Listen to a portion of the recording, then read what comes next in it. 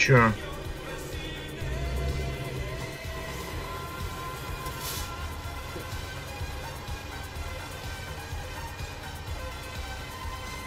Всем обладателям богатой фантазии живется, как правило, не то чтобы не скучно, у них просто не нет за- на сколько времени.